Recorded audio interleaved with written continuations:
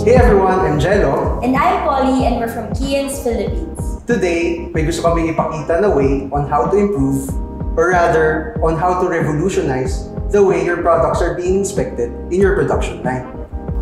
So Polly, sa experience mo ba, ano ba yung mga usual challenges na nakikita mo sa mga manufacturing industries? Especially sa mga inspection processes? Most of the time, dun sa mga nakikita ko, yung mga targets nila ay very challenging to check. Hmm. Manual man or minsan automated na, nahihirapan pa rin sila mag-inspect. Mm, so kung ganun, ano yung mga usual responses nila sa mga ganun types of issues? Kapag nakaka-encounter sila ng mga ganyang difficulties, Mhm. madalas marami silang options na sinusubukan. Kaya lang, imbes na nasusolusyonan nila ito, kadalasan nahihirapan din sila.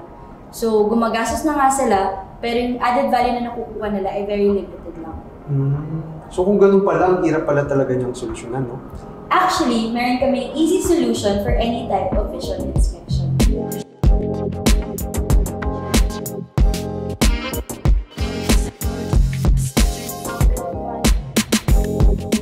Normally, sa pag-inspect nitong items na ito, kailangan ng iba't ibang setup.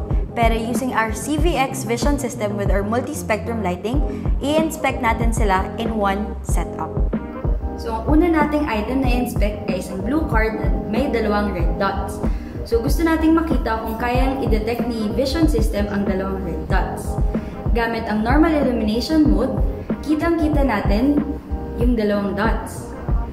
So, pag biniligtad natin, okay siya.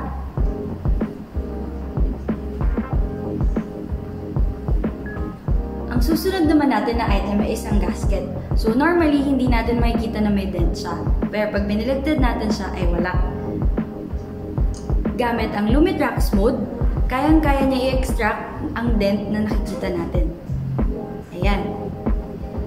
Pero pag binaligtad natin siya, ay good pa rin siya.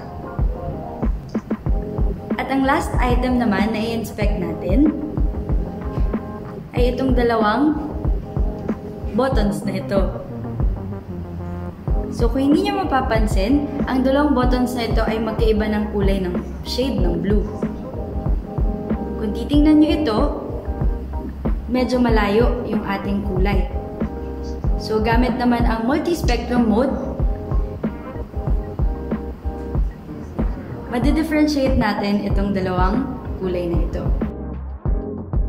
So kung nakita naman, with our multi-spectrum lighting, na-inspect natin na maayos ang lahat ng items sa tinest natin gamit ang normal illumination mode, Lumitrax mode, and multi-spectrum mode. Ang dali, di ba? Oo nga, super dali niya lang talagang gamitin. O, di ba? Now, meron ka na rin chance makagamit ito para sa iyong inspection requirements.